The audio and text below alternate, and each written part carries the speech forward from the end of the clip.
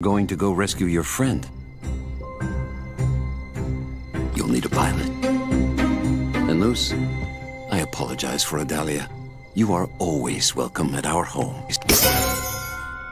I'm confused. What's going on? I'm sorry. It happened so fast. I didn't even realize what was going on until she was gone. She... she wanted to protect you. And Eda.